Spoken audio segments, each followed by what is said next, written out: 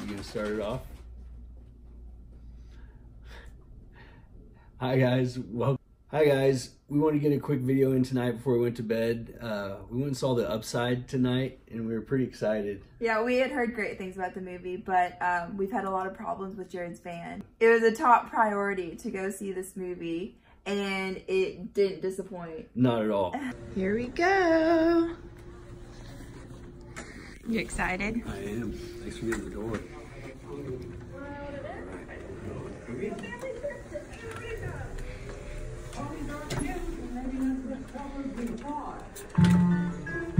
Belle, you like the movie?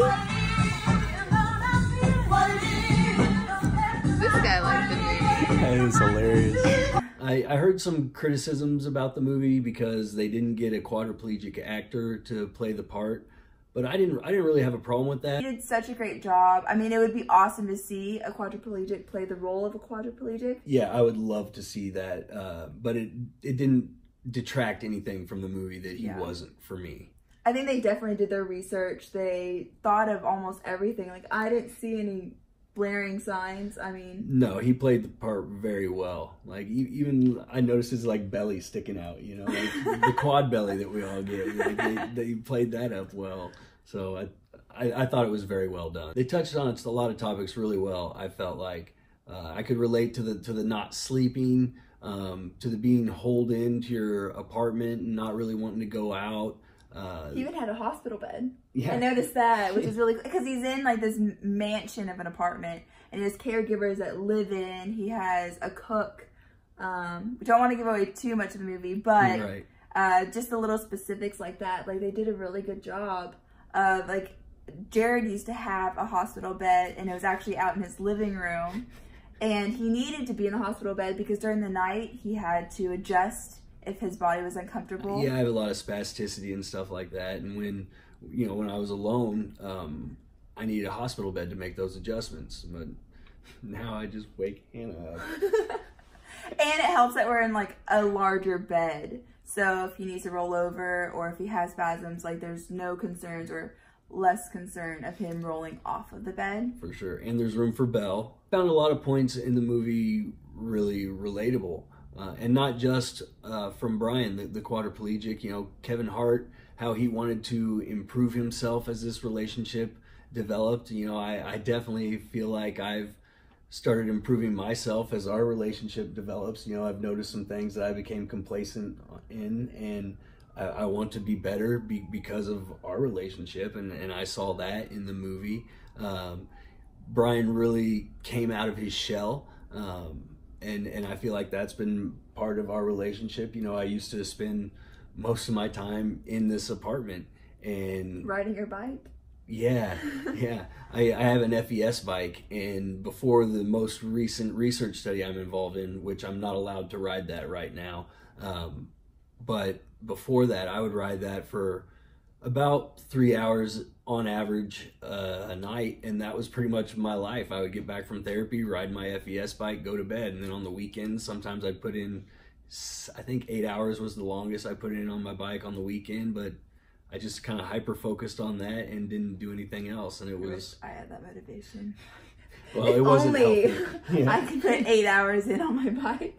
Well, the electricity does it for me. I just have to sit there and take it. So But you got an award. He won an award on Strava. that's true. What I, award was it? uh, I was the God. What was it?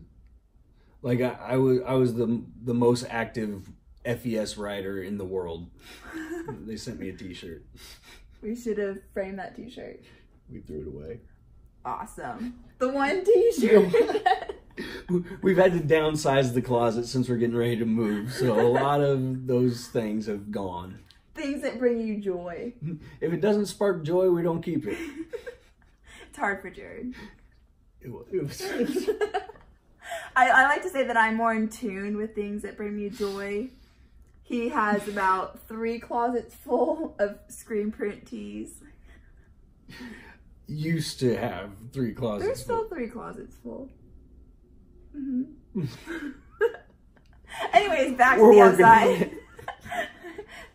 we're it's past our bedtime, so you know we're just gonna Clearly. keep rambling on. Uh, some other things I definitely related to is you know Bryan falling for his caregiver, which that's how that's how we met and that's how this came about. So Yeah. Um, I had a coworker and she was working for Jared at the time, and I didn't know Jared when he was riding his FES bike, but I just got the uh, general idea that Jared spent a lot of time in his apartment, and um, I just remember the first day meeting him. I met him one time before actually starting as his caregiver yeah, and I just couldn't get myself to stop talking.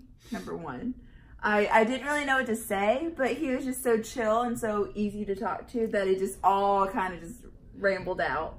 And I made like 20 commitments for us yeah. that first day. You told me just as long as we could go out to brunch every Saturday. That was that was like a stipulation of you taking the job that we had to go out to brunch every Saturday. I enjoy my brunch. yeah, as do I. so biscuits and gravy. hmm But I was making all these plans without really even considering what it took to get him to those places.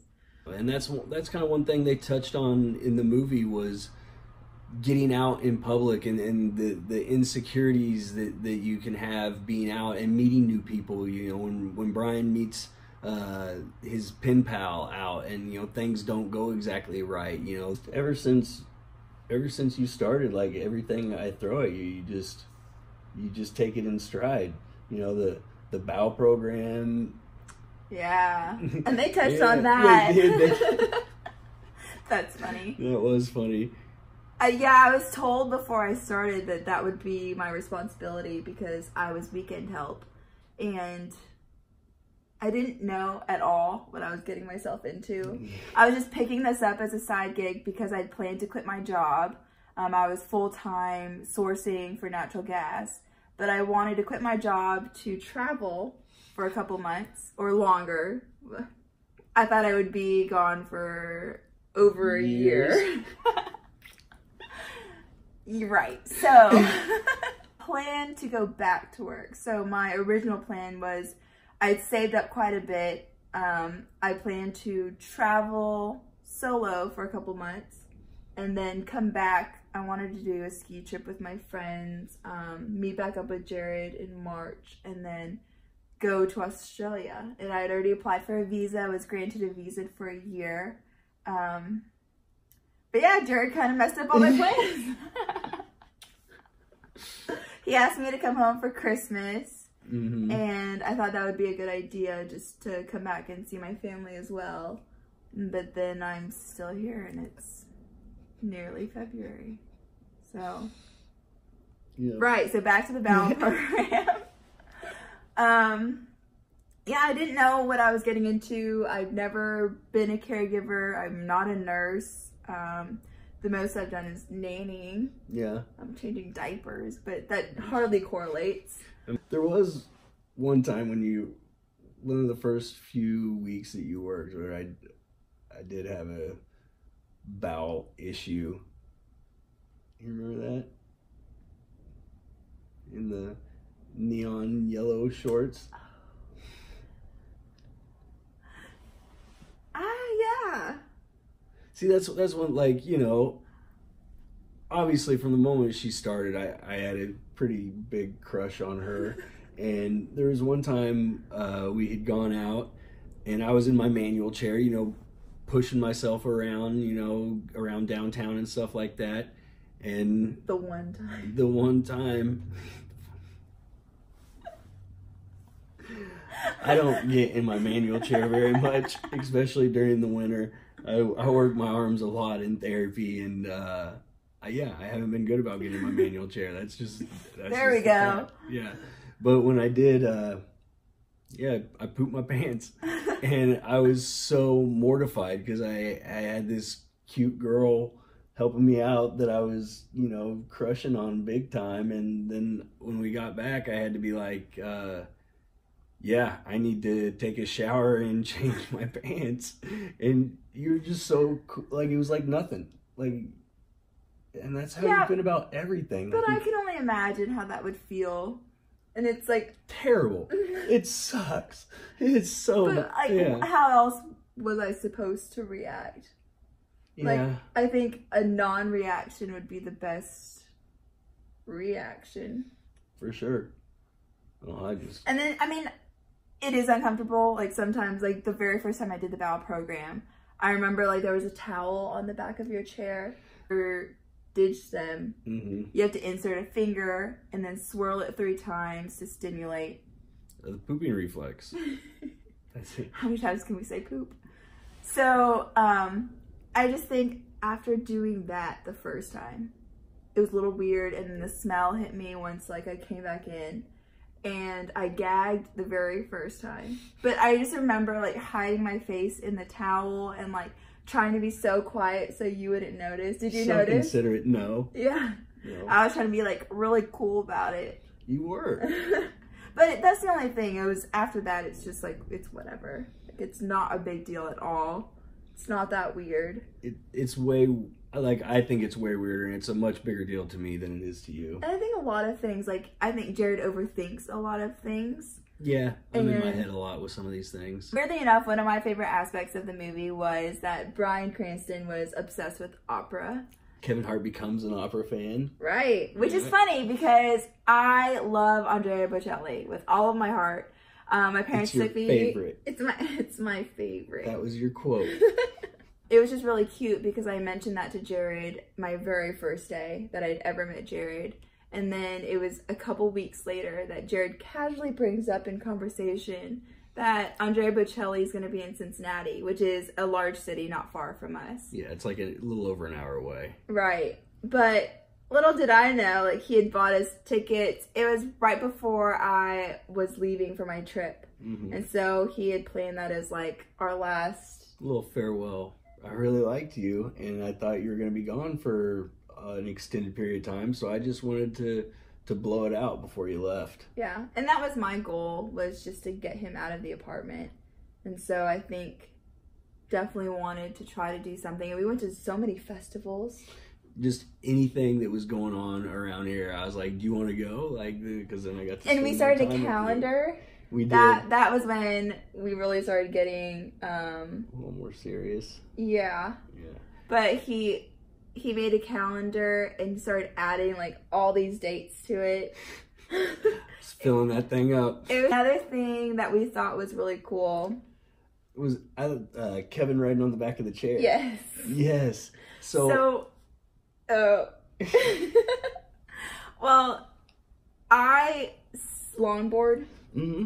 and I had mentioned that to Jared and he was like, "Well, you know, I have a skateboard that attaches to the back of my chair and so you can ride that." It was really funny cuz they did that in the movie. yeah, Kevin Hart was riding on the back of Bryan's chair, and that's kind of how we get her. Like, she comes with me to therapy some days. We have a lot of videos of that. I've taken Yeah. quite a few videos, so we'll insert one somewhere.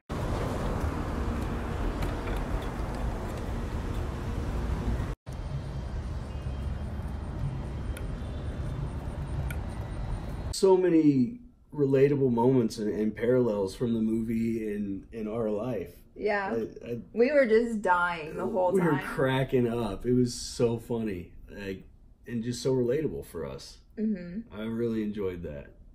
One last thought about the movie before we go to bed because it's way past our bedtime. Yeah, it's twelve forty-five. Time to turn it in. Jared has to get up at six. I have to get up at six. Yeah, We need to start going to bed earlier. we do.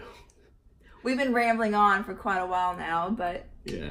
um, but the thing that I liked about it was just the positive message it brought about caregiving, about quadriplegics, about just like the happy life that he was able to live. Like he's a normal person. Right. And I think um, when I started dating Jared, like it was different for me, but I think the hardest part was trying to explain to other people our relationship. And it's not that they were negative about it in any way, it was just, it's hard to comprehend. Yeah. People, you know, I think they're weirded out by things they don't understand or, you know, don't have any experience with and they, they think it's so strange, but like I'm just a regular person, you know? All right, well, those are our thoughts. Yeah, we got to get to bed Rambled on quite a bit. way longer than we planned on. But we'll try to trim this down and then we'll go more in depth in A lot of the other things that we touched on. yeah. Uh, and we'll we're definitely ramping up videos. We're trying to make content.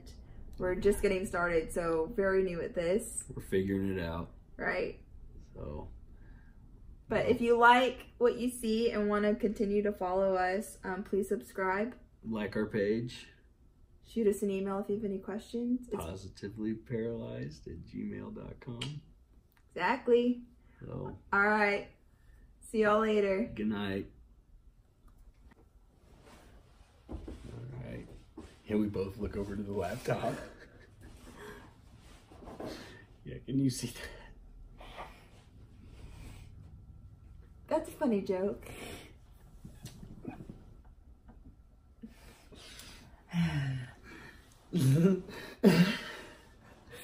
Uh, and So you have to just bring up the topic. okay. all right. Uh,